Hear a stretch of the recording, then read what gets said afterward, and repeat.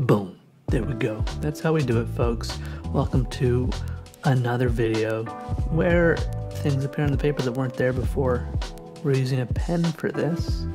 Uh, these were invented 30 or 40 years ago, and they allow us to put ink in very precise manners on the paper.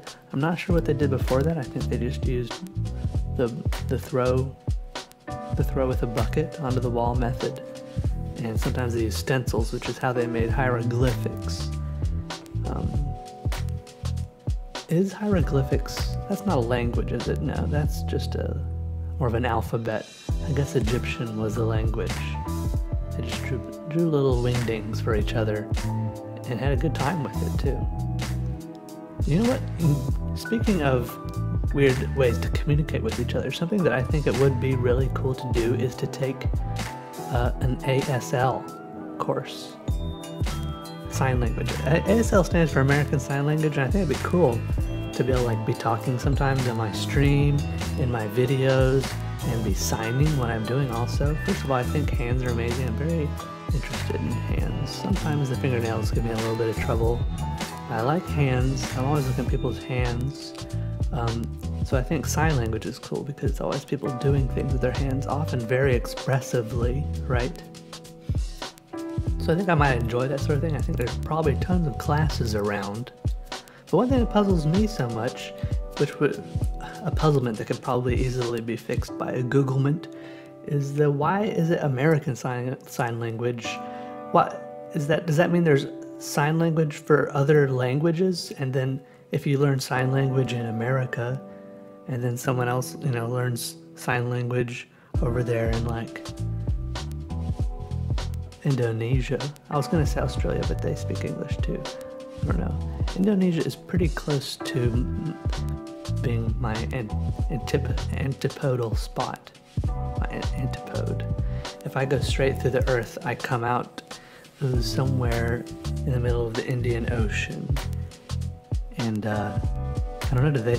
What what what is there? What, what type of sign language do they have there that they don't gesture at stuff the same way? I guess it makes sense that there is a large part of sign language, which is you're just shaping out the individual letters of the alphabet with your with your fingers in your hand. But a lot of it just seems to be general feelings and just you know like this is you know that and that is this they're not different things on the other side of the world. I guess culturally they could be a little bit different. Maybe there are, a, I would like to think maybe there is a lot of overlap. And then just a few little differences that you learn along the way if you want to learn, you know, like some, some dialects for different things around the world, maybe. Anyways, I think there's my speculation. There's, I think it would be cool to do. But that's like one of those things I feel like I'll keep telling myself would be cool to do, and then I'll never actually go and do it. it's difficult. I told that myself. I told myself that about a lot of things before. Sometimes I get farther. Can you hear me sitting here itching myself? I feel like I have an allergic reaction to something. Anyway, some things I get farther on than others before I stop doing them, you know. Tell myself I'm going to learn this, learn how to do that, become good at this, practice that, do this, you know. Uh, sometimes I even make plans and start doing it. Sometimes I just daydream a lot. I window shop different futures for my life while I lie there in bed, stand in the shower, just daydreaming in different places, right? Some things get fleshed out a little bit more than others.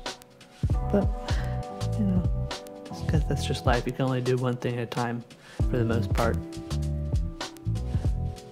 For better or for worse. Anyways, nothing too crazy today. I like how this drawing turned out. I like the big bulbous people. This one is in the sketchbook. I also, I almost, I, I, excuse me, I can't even talk. I already released the sketchbook flip through of this with this complete drawing in it. I think, unless I'm going crazy. Yeah, I think I did. And um, I like these. Maybe if I did another comic book, it could be centering around these weird little bald characters. That could be cool. Because I'm enjoying drawing them. And, uh, yeah. just, you know, just more thoughts in the, in the old noggin. Alright, see y'all later.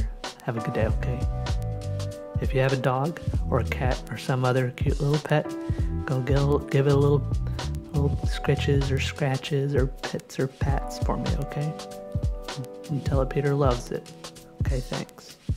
Okay, bye.